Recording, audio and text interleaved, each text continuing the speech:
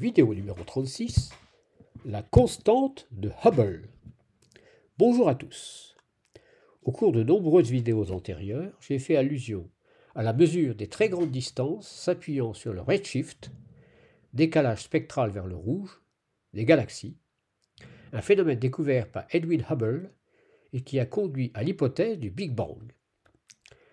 Avec les observations du James Webb Telescope, vous risquez d'entendre parler très souvent du redshift et de la constante Hubble au cours des prochains mois, et il est donc temps de faire une petite mise au point sur le sujet. Point 1. Un peu d'histoire. Le même son émis par un objet en mouvement nous semble plus aigu lorsque l'objet s'approche et plus grave lorsqu'il s'éloigne. C'est ce que l'on appelle l'effet Doppler, facile à expliquer par un dessin représentant les ondes sonores.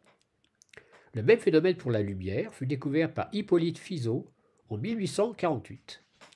En 1929, après une longue série d'observations en collaboration avec Milton Humason, l'astronome Edwin Hubble mit en évidence que la lumière en provenance des galaxies lointaines distantes subit, en moyenne, un décalage vers le rouge, c'est-à-dire l'équivalent des sons graves proportionnels à leur distance.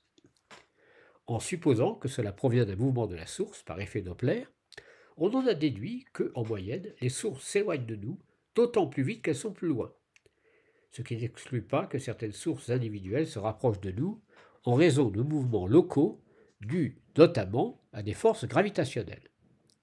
C'est le cas pour la galaxie d'Andromède Messier 31. Point 2. Un modèle simple. On peut exprimer cette propriété par l'équation V égale H0U, où U est le vecteur position de l'objet lointain par rapport à nous, et V sa vitesse de fuite. H0 est ce que l'on appelle la constante de Hubble et s'exprime en kilomètres par seconde par mégaparsec, et au point de vue dimensionnel, c'est l'inverse d'un temps. Un parsec vaut environ 3,25 années-lumière et correspond historiquement à la distance d'un objet lumineux dont la parallaxe vaut une seconde d'arc. Un mégaparsec est une distance immense, typique de l'écartement de deux galaxies proches comme la Voie lactée et Messier 31. On peut voir facilement que l'hypothèse de proportionnalité vectorielle de la vitesse de fuite à la distance s'étend automatiquement par linéarité pour une observation à partir d'un point quelconque.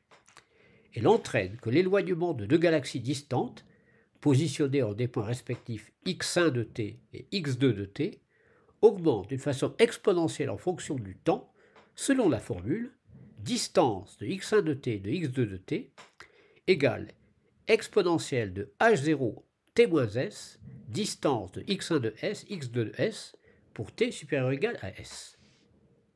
Point 3. Pourquoi le Big Bang?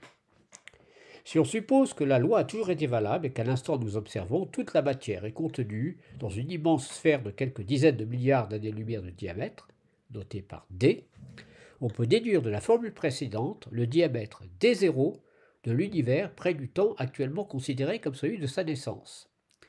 D0 égale D exponentielle de moins h0 grand A, où grand A est l'âge supposé de l'univers.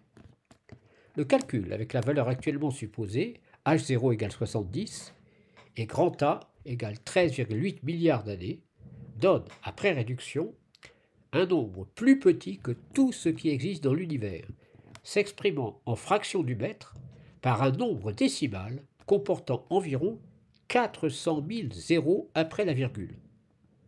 C'est en remontant le temps par la pensée que Hubble et le maître ont imaginé que, loin dans le passé, toute la matière et l'énergie étaient comprimées dans un espace d'une petitesse inimaginable.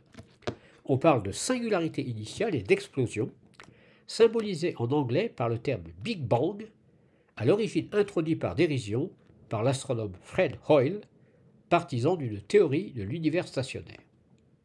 Point 4. H0, fonction du temps. Les théories récentes supposent que H0 est en réalité une fonction décroissante du temps. Du côté des grands temps, cela implique une dilatation qui se ralentit, et du côté du temps initial, une singularité encore plus marquée. Mais si h0 dépend du temps, cela complique évidemment l'évaluation des distances par décalage spectral des objets très lointains. si la lumière est partie de la galaxie à un temps petit t du passé, et que nous observons aujourd'hui à l'instant petit t0, la distance d de petit t0 où se trouve aujourd'hui cette galaxie est égale à d de petit t0 égale d de petit t multiplié par exponentielle de l'intégrale de t à t0 de h0 de s ds. Et nous n'avons de certitude, toute relative d'ailleurs, que sur la valeur actuelle de h0. Pour cette raison, on évalue aujourd'hui les distances des objets très lointains, non plus en années-lumière, mais en décalage spectral. Point 5. Les très grandes distances.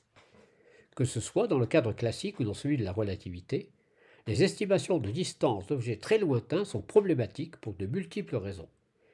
C'est pourquoi toutes les considérations actuelles sur la matière noire et l'énergie noire, basées sur les vitesses de déplacement d'objets lointains et la dilatation apparente de l'espace, doivent être reçues avec circonspection. En théorie de la relativité, on nous dit que la dilatation de l'espace ne doit pas être considérée comme un mouvement mécanique, mais c'est pourtant ce phénomène, assimilé à une explosion, qui a donné naissance à l'idée du Big Bang.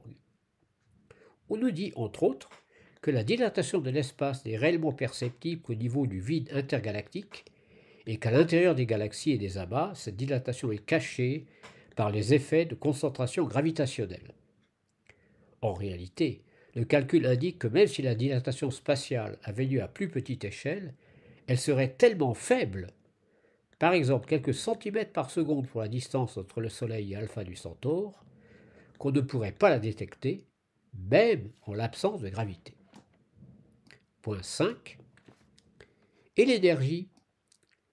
Il y a une question fondamentale au niveau de la théorie du Big Bang qui se confond avec celle de l'existence même de la matière, et qu'il ne faut pas confondre avec le problème récent dit de l'énergie noire, dont on peut un jour découvrir qu'il n'existe pas.